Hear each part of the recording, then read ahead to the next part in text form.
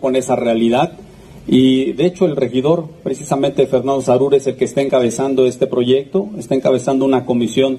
de regidores y por supuesto con el área operativa para poder tener un diagnóstico de cómo pudiéramos desde el gobierno municipal el poder evitar que los propietarios de esos predios los dejen totalmente abandonados, descuidados, se vuelvan bocas de lobo y tal como lo has mencionado, se vuelven focos de delincuencia. Una mujer que va transitando a altas horas de la noche o temprano porque va o regresa del trabajo, es muy simple, porque ha sucedido que le puedan jalar, llevarla al terreno y ultrajarla, y eso no lo vamos a permitir. Es un tema para nosotros de seguridad y esta semana ya se reunieron, nos van a reunir esta semana y yo creo que estaremos teniendo ya resultados del proyecto que está encabezando el regidor, espero la próxima semana.